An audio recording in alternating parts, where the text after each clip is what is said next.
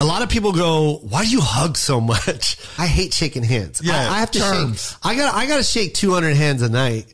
Sometimes 250, 300. I- you do that and tell me how your hands feel. Okay. And, and there's a lot of wet hands. Mm, mm. There's a lot of clammy hands that come through. he's always sweating. yeah, He Ernie, Ernie's hands. always clammy. Yeah. Have you seen his keyboard? Drenched.